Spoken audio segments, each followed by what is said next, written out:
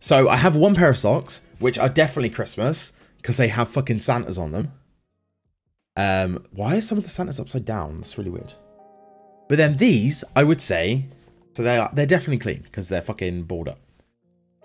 Yeah, they're clean. Oh, they actually smell really good.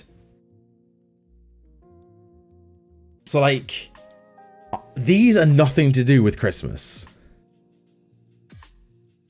Literally, they just say, "Are you?" I mean, it's backwards because the camera's reversed.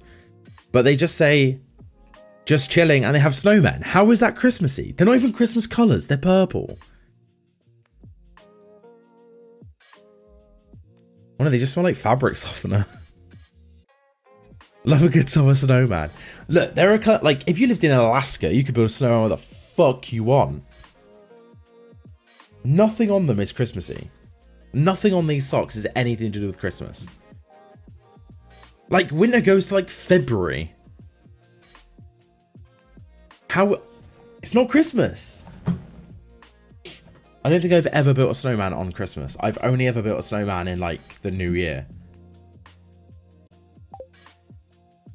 But yeah, I was just wearing like normally day to day and someone was like, what the fuck? The great debate. Are snowmen Christmas?